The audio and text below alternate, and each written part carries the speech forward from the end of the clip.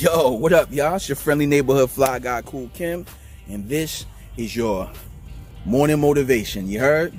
So check it out, man. In one of my last eps, I was talking about what versus when. You know what I'm saying? Like, the what could be very easy if you can control the when. So when I have to do something dictates how difficult what it is that I have to do is, right?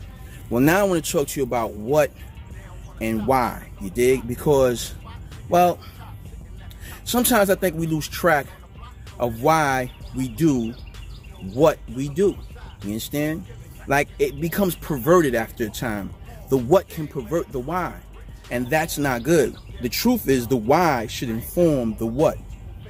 For example, why are you working 12 hours a day every day? Come home and then you're in front of the computer another six and your engagement with your family is minimum. You know what i'm saying? Your engagement with your own personal health and just well-being is almost non-existent. Why are you doing it? I understand what you're doing but why are you doing it? Yo i gotta get this money. All right why do you have to get this money? Because i want to build a better life for my family. Oh well you know there's a lot of ways to build a better life for your family. Libraries are free. Public parks are free. You understand? Everyday adventures and time engaged with one another is free.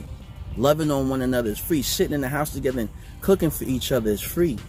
Watching a good movie or a nice documentary together is free. Homeschooling your children even after they go to class and taking the time to read books or read to them. That's free. And all of these things will enrich and empower your family in ways that no amount of money can compensate for. So why are you doing what you're doing? You understand? See, if the why becomes clear, then what is then informed and controlled and mastered and pointed in the direction that it needs to go to support why you did it to begin with. You understand? Listen, I just want you to have a good life, fam, and I want your mornings to be motivated, and I want to tell you things to make you think about stuff. Even if you don't necessarily agree, it's good to just be challenged in thought and think about things in a new way.